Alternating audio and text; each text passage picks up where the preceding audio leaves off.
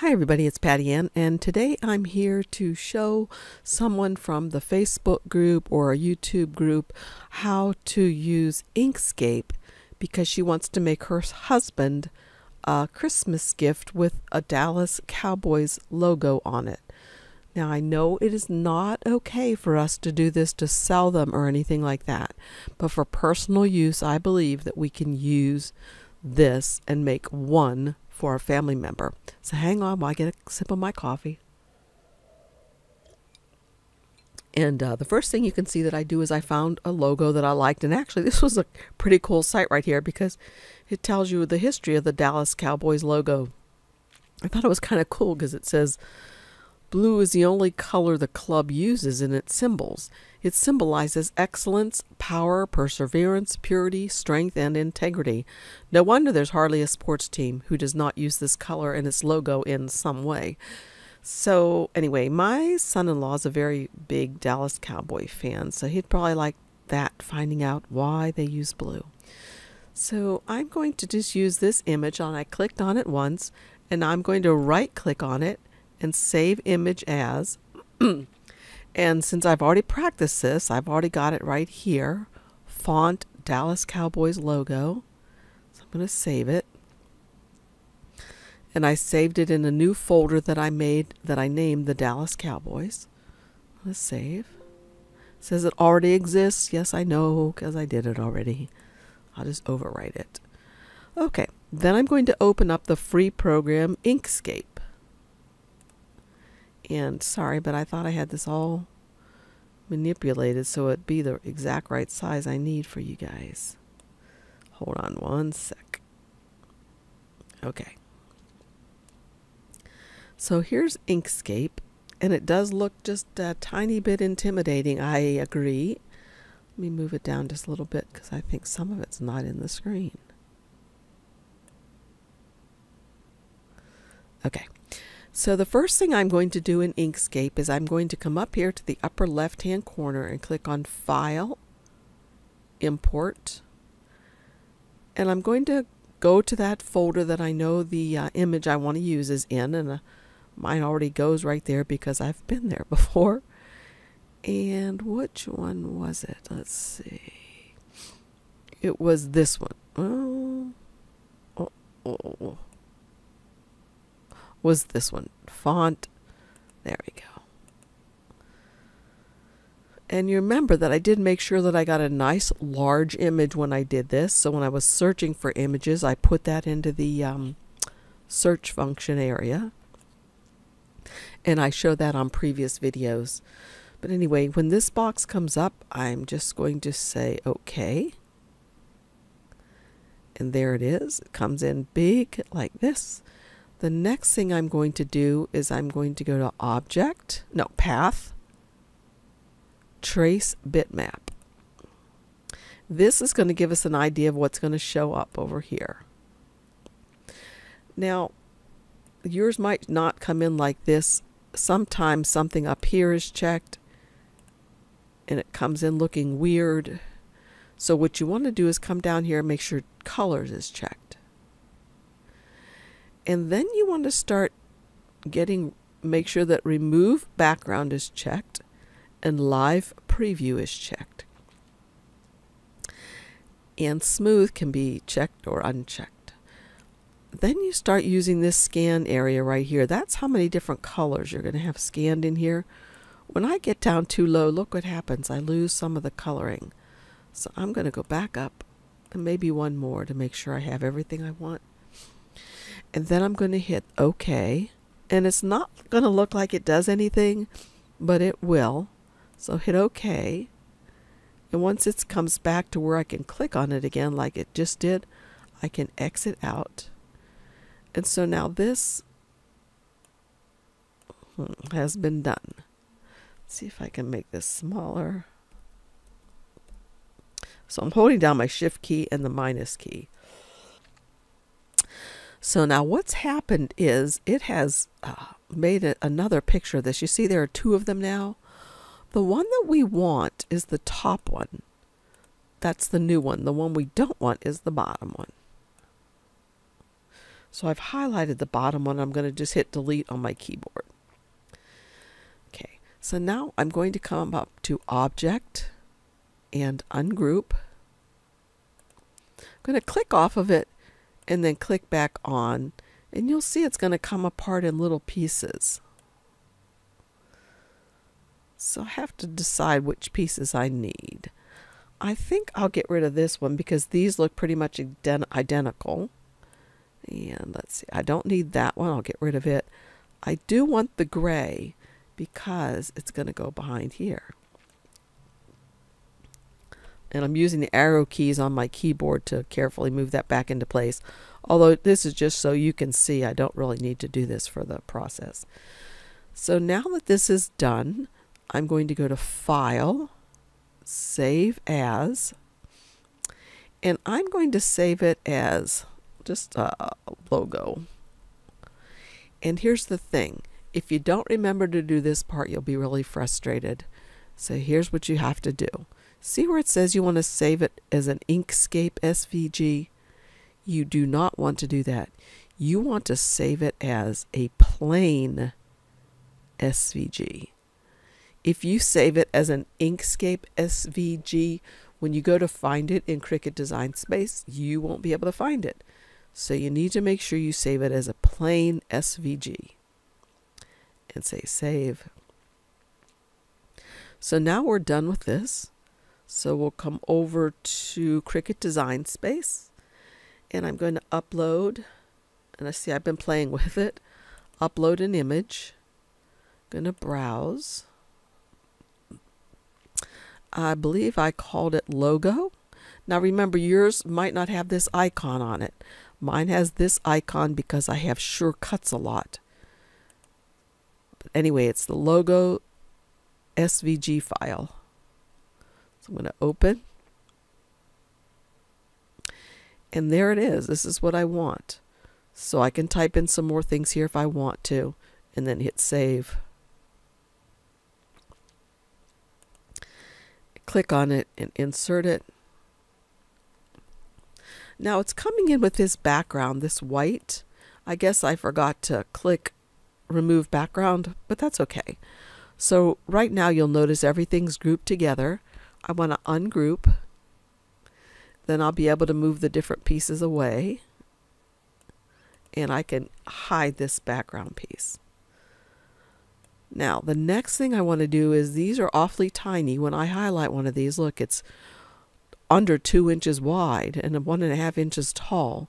That won't work on the t-shirt. So I'm going to leave the lock locked and make this 10 inches tall and hit enter. And I'm going to do the exact same thing to this one. Whatever I do to one, I'll do to the other so they're exactly fit still.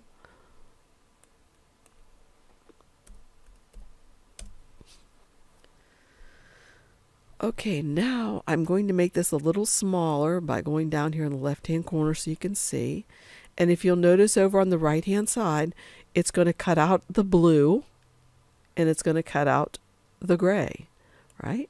And you can see they'll fit together perfectly.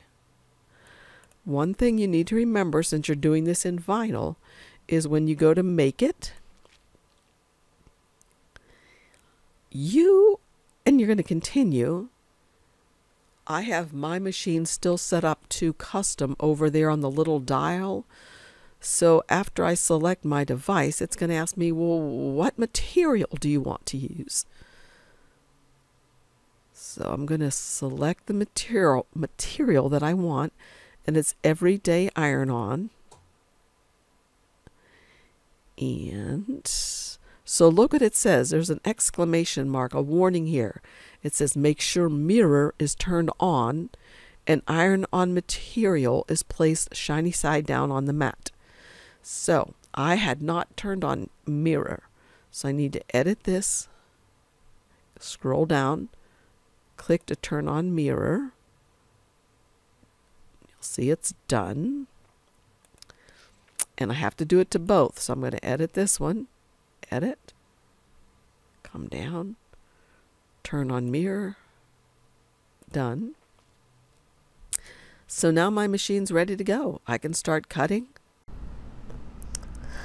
Okay, I don't really have the black and the gray to use, or the blue, I'm sorry, and the gray to use for this project. So just so I can demonstrate how to finish it up, I'm going to use red for the first part, the part that would be gray.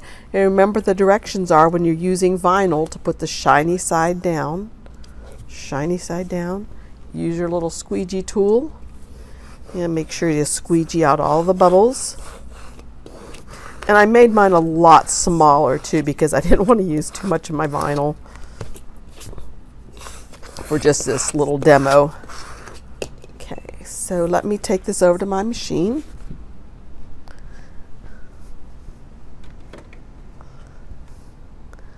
And hit, oh, I just turned it off. Darn it. Okay, I've gotten it out of my machine and I'm going to take it off of my mat. And before I waste all of this, what I'm going to do is use this little Cricut cutter again because I can kind of see where I can save some of this vinyl. And as I've said before, I like to be frugal. So I can see the edge of it is right here. So I'm going to kind of line that up to the middle of this and just slice off a hunk. So there's one piece that I can save for something.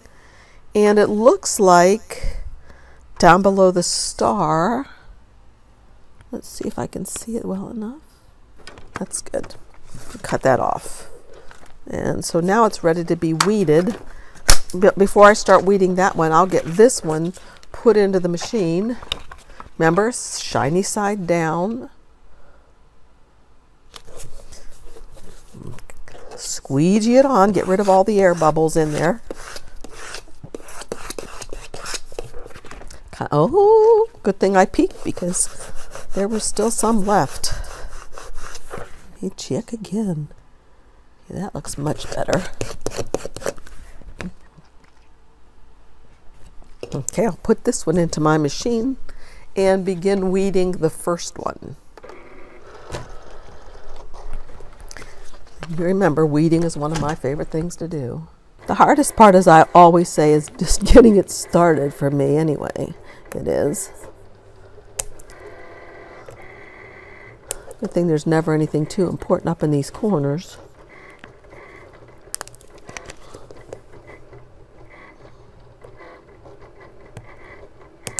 Okay, there we go, finally. Huh.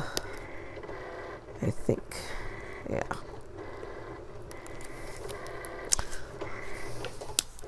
This is some older vinyl that I have.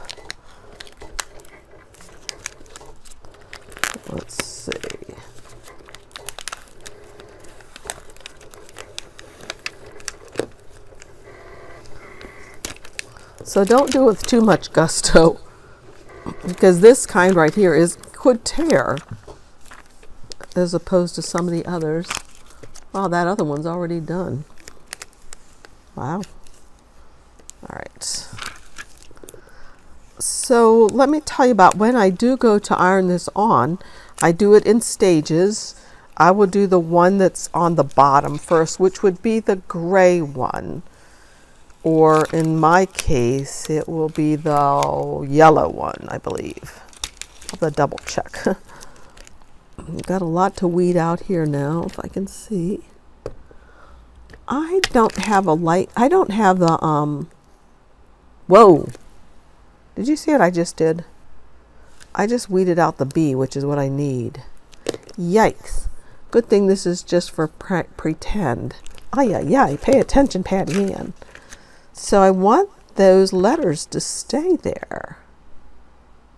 Or do I? Maybe I need to go back and look at this image.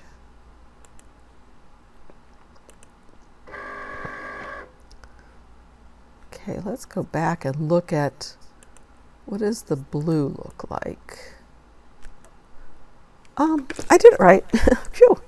So I am going to take out these letters like this.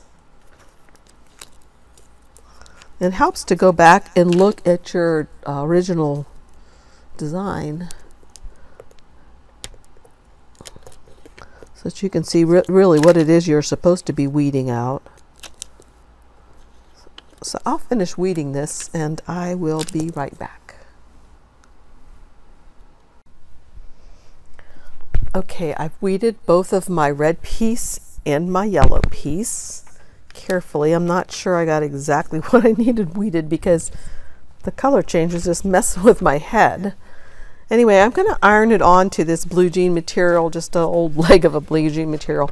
I've got my iron. I'm just going to try to use my iron today to show you that yes, indeed, you can just use your household iron. I have mine set on the highest setting it is with no steam. Let me move it over here. And I'm going to use in between an applique pressing sheet because I'm going to put one layer down and just tack it gently. And then I'm going to put the second layer on but I don't want the first layer to hit the iron because it will ruin it. So I'm going to use the applique pressing sheet. I'm thinking that maybe you could use parchment paper, but I don't have any down here, so I'm going to use this. Maybe I'll try that sometime for you.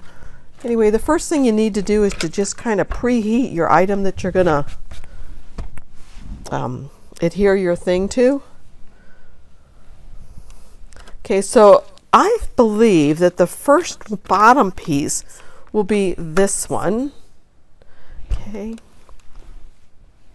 I think that's pretty well preheated. Yikes, my wire is going to get burnt. Ah, hold on. Okay, there. All right, still preheated pretty well. So I'm going to put this down like this. Okay, and then I'm just going to iron it on just a little bit. Not a crazy amount. And you can see it's coming right off perfectly. Okay, so now I'm going to put the red right on top of that. But if I just did this, put this right on top, and if all of the yellow wasn't covered, I could have a real mess on my iron. And I see a little piece I missed right there. Hmm, wonder if I can get it off before I get it really ironed on well.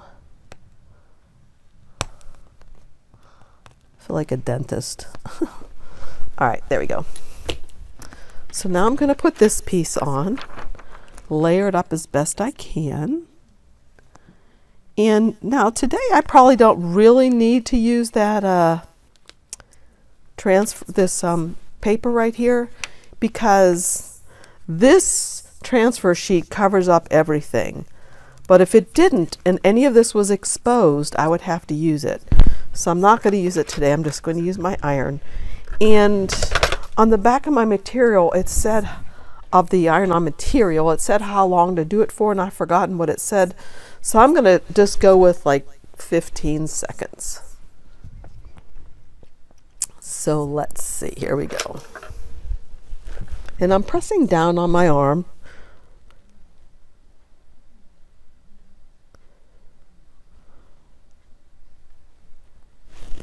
And then I'm going to lift it up and move it.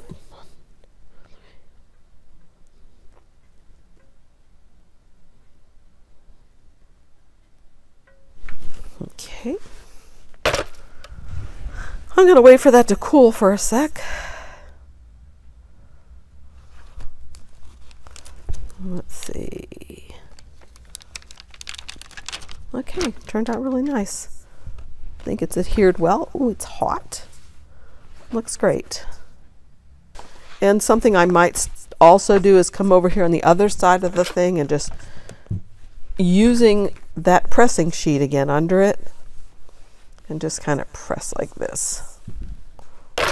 And then again, if I wanted to, again, I could just press it here just because I didn't read carefully how long I was supposed to do it for and I want to make sure it's on there well. Okay, that's it. Thank you for joining me. If you have any questions, let me know. And if you like my videos, give me a thumbs up and please subscribe. Thanks, y'all. Bye bye.